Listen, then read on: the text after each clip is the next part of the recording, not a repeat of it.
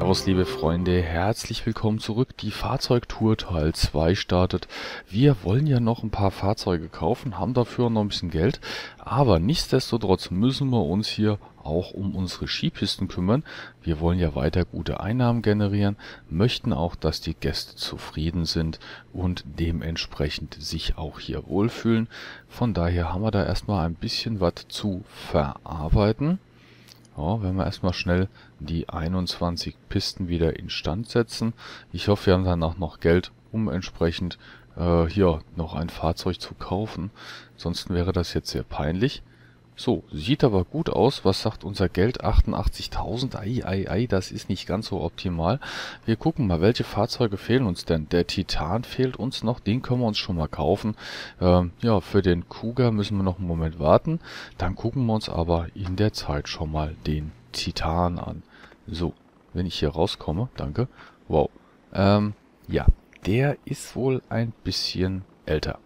Das ist nicht so ganz die moderne Variante. Was mich schon mal irritiert, der hat keine Nummernschilder, der hat keine Blinker. Ist so gesehen eigentlich gar nicht für den offiziellen Straßenverkehr zugelassen. Hm, seltsam. Gut, steigen wir mal ein. Klingt wie ein normaler Traktor. Wir gucken mal innen rein. Okay, sehr interessant an dem Fahrzeug. Er hat kein Gaspedal, keine Bremse, also wir können den gar nicht bewegen. Schmerz. Äh, ja, also etwas seltsam, die ganze Geschichte. Wir gucken mal, fahren wir eine Runde. So, klingt genauso wie der Traktor eigentlich.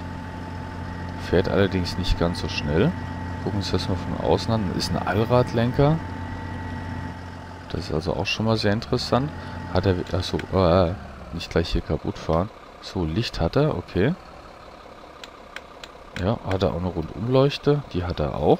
Allerdings hat er keine Nummernschilder. Also dürfen wir den eigentlich so gar nicht fahren. So, vorne hat er einen großen Aufsatz. Das heißt, da können wir also auf alle Fälle auch eine Schneefräse oder sonstiges dran setzen. Was wir da sonstiges dran setzen können, gucken wir jetzt nochmal.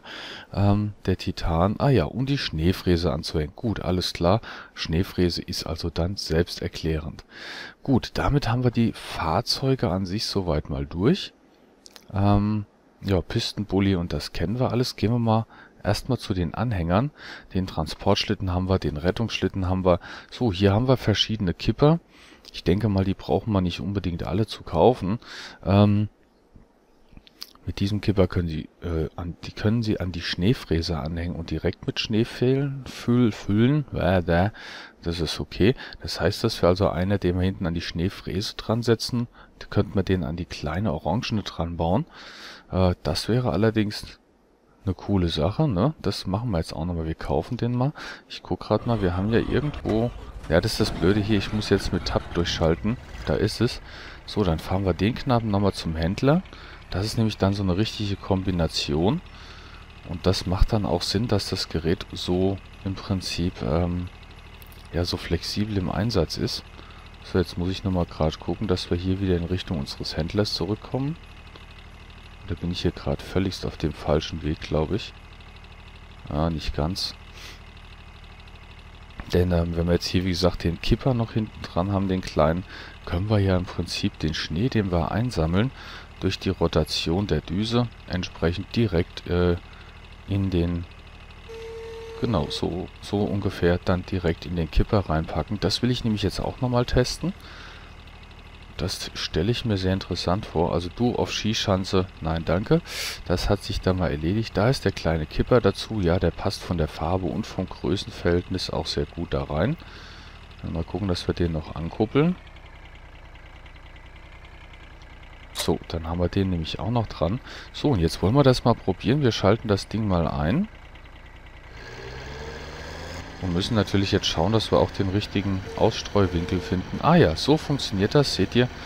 Jetzt können wir nämlich tatsächlich hier den Kipper mit Schnee füllen. Funktioniert aber auch nur beim geradeausfahren. Sobald man die Kurve fährt, ist da ein bisschen das Problem, äh, funktioniert da nicht mehr so toll.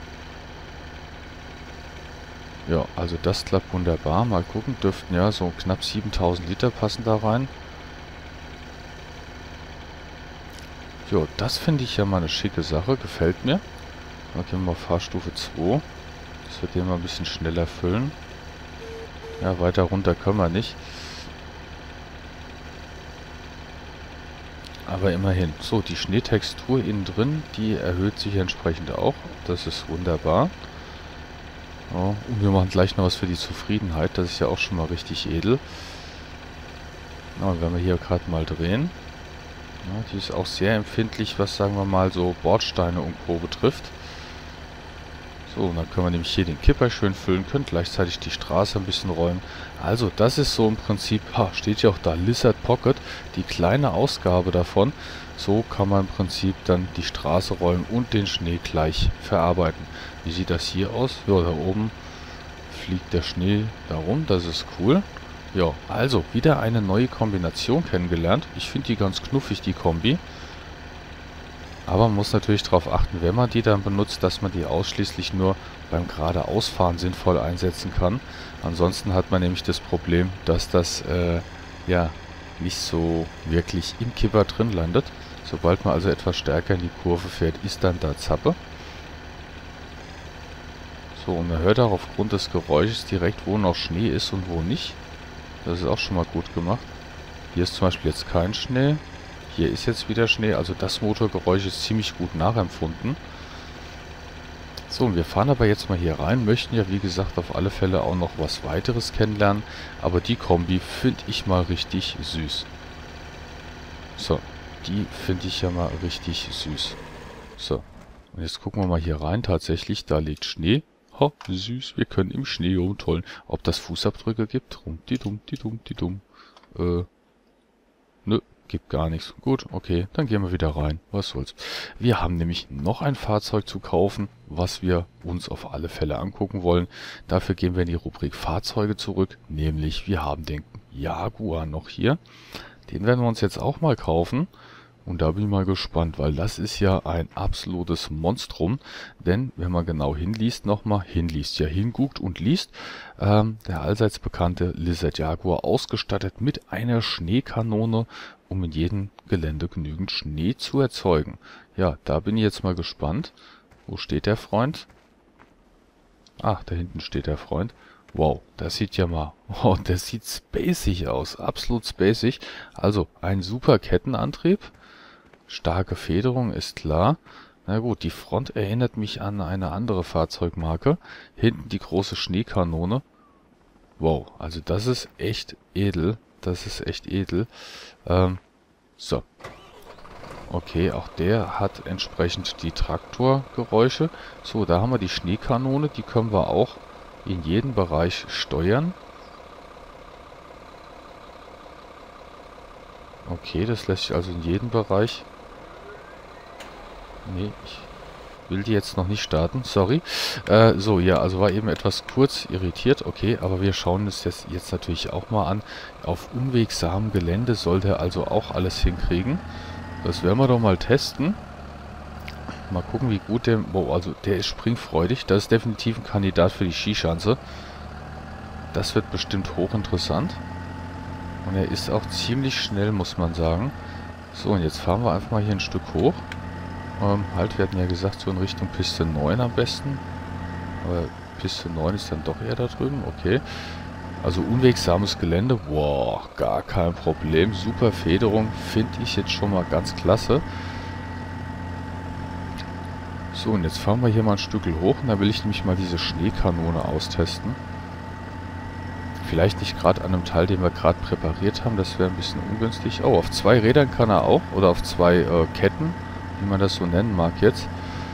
So, fahren wir hier hinten hoch. So, und dann haben wir gleich hier mal einen freien Bereich. Da werden wir mal testen, wie jetzt die Schneekanone funktioniert. Bin ich auch mal gespannt. Kenne ich so ja auch noch nicht. Oh, fahren wir erstmal hier ein wenig nach oben auf den Hügel. So, dann schalten wir den Kasten mal ein. Turbine läuft an. Ah ja, und dort wird jetzt Schnee generiert, produziert. Das heißt, wir können jetzt erstmal hier das Ganze ein bisschen drehen. Oh, das sieht richtig cool aus. So, was mich natürlich interessiert ist, bleibt der Schnee da liegen? Gibt es da eine Textur dafür? Mal schauen, wie weit wir da jetzt Schnee sozusagen produzieren können. Und ob der liegen bleibt und wo der liegen bleibt. Also hier in dem Bereich sehe ich noch nicht so viel. Gucken, ob das hier weiter vorne mehr gibt. Können ja hier unten mal so einen riesen Schneehaufen hinmachen, aber ich glaube, das funktioniert so gar nicht.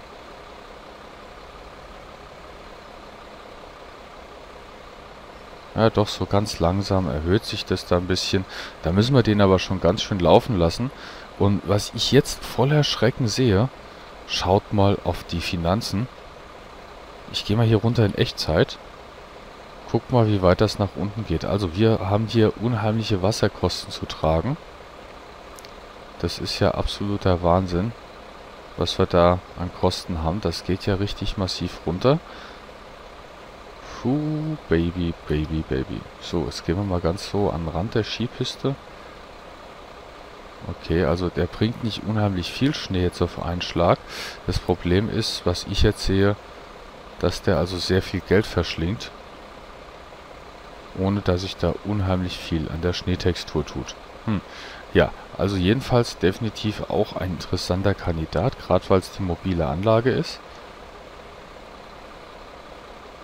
Ja, da können wir leider nicht weiter. Ne, also 360 Grad schwenken geht nicht. Aber wir können hier wunderbar im Prinzip den Schnee verteilen. Also die Textur ist schon mal gut gemacht, gefällt mir. So, jetzt können wir im Prinzip hier mal ein bisschen es schneien lassen. So, fahren wir mal hier rüber. Können wir sogar vielleicht die ein oder andere Kuhle hier einfach zumachen. Mal gespannt, ob das so hinhaut. Ich glaube, da muss der ziemlich lange für arbeiten. Wenn ich runtersteige, läuft die weiter. Ja, die Schneekanone läuft weiter, das ist cool. Können wir uns das nämlich hier mal genau angucken, ob sich da jetzt an der Textur noch was ändert. Nö, eigentlich nicht, ne? Sieht jetzt nicht so aus. Ah, doch, so ganz langsam kommt da noch was drauf. Ja, doch, also die Schneetextur wächst weiter. Das heißt, man kann hier richtig eigene Hügel und eigene Geländer aufbauen. Also das ist auch was für Leute, die sich gern so Schneedesign was machen wollen. Braucht natürlich viel Geld, aber funktioniert. Und man kann die Schneekanone auf alle Fälle auch entsprechend laufen lassen, während man äh, sich woanders aufhält. Finde ich tolles Auto, macht richtig Laune. Ähm, könnte ich mir in einem längeren Spiel auch vorstellen für ein Let's Play. Naja gut, zum Einschalten ja, aber ich glaube, da wäre dann vielleicht eine andere Kategorie interessanter. Denn ähm, da wäre es vielleicht gut, vielleicht sogar eins, zwei ja, feste Beschneiungseinrichtungen aufzubauen später. Aber die gucken wir uns natürlich auch noch an. Dieser Kandidat jedenfalls, der wird definitiv ein Kollege für unsere Skischanzenabteilung. So, komme ich da hinten wieder runter? Ne, komme ich nicht. Das war jetzt schlau. So, also dagegen fahren, den Test hat er auch bestanden. Das klappt. Er hat unheimlich viel Kraft. Guck mal, der kommt hier fast 40 Grad Steigung hoch. Und dann stellen wir den nämlich auch mal gleich hier hin, den Freund. Dass wir hier auch schon mal loslegen können. Wunderbar. So, ähm, kleine Scherber, das ist klar. Wo sind wir denn jetzt hier wieder an unserem Eieiei. Genau, da unten sind wir. So, jetzt sind wir soweit hier mit der Sache schon mal durch. Ähm, aber wie gesagt, also den kleinen Hobbit, das stehen werde ich hier nicht mit zur Skischanze nehmen. Wir gucken nochmal in den Händler rein. Also bei den Fahrzeugen haben wir, glaube ich, jetzt alle durch. Genau. Gucken wir bei den Anhängern nochmal. Wir haben also dann noch einen kleinen Kipper und nochmal einen mittelgroßen Kipper. Ähm, der hat 21.000 Liter Fassungsvermögen. Das ist natürlich eine ganze Menge. Da können wir also richtig gut Schnee transportieren. So, und ähm, mit was wir uns morgen beschäftigen, wird dann die Rubrik Geräte sein. Es gibt nämlich einiges. Es gibt hier Twin Cannon, normale Kanone, mobile Schneekanone. Äh, dann gibt's noch einen Lizard Salzstreuer den wir noch ansetzen können. Wahrscheinlich können wir den direkt an den Traktor bauen. Die Lizard Schneefräse, die sieht von der Farbe aus. Ah, Deutz Agrotron M620, okay. Dann haben wir hier nochmal Beschneiung. In den entlegensten Ecken leicht verstellbar. Und ähm, Kunstschnee vom Feinsten. Preis-Leistungs-Verhältnis optimal. Okay. Die kann frei auf, ah, das sind fest auf der Karte platzierbare Objekte, genau wie diese Lanzen. Die Schneelanzen sind nämlich auch interessant, kosten aber richtig, richtig viel Geld. Da bin ich mal gespannt, ob die überhaupt später auch ihr Geld wert sind. So, wir drehen die Zeit wieder auf das 30-fache. Dort geht's morgen weiter. Ja, dann ähm, würde ich mal fast sagen, gehen wir morgen in den Bereich Beschneiungsanlagen mal rein. Das wird bestimmt auch ein sehr interessantes Thema. Und ja, dann, wenn wir die Beschneiungsanlagen durch haben, weiß nicht, ob wir das in eine Folge kriegen oder ob ich zwei draus mache, das sehen wir mal, weil die Beschneiungseinrichtungen sind, denke ich mal, schon sehr interessant. Wir haben auch gesehen, die kosten unheimlich viel Geld. Allein der Wasserverbrauch, also so wie beim Landwirtschaftssimulator, wenn man da dann die Gewächshäuser hat und äh, sich Wasser aus dem Brunnen holen will. Also das geht richtig ans Geld. Aber wir wollen ja auch mal gucken, ob die Skipisten, das können wir eigentlich gerade mal machen, nee, sieht man im Moment nichts. Der obere Balken, hier ist die Schneemenge, ob die entsprechend auch jetzt variiert, nachdem wir ja so ein mobiles Gerät haben. So, für heute denke ich mal sind wir durch. Wir haben einige neue Geräte kennengelernt. Morgen geht's mit der dritten, dem dritten Teil der Tour weiter. Und in diesem Sinn sage ich für heute aber erstmal Danke fürs Zuschauen. Bis morgen. Servus und Tschüss.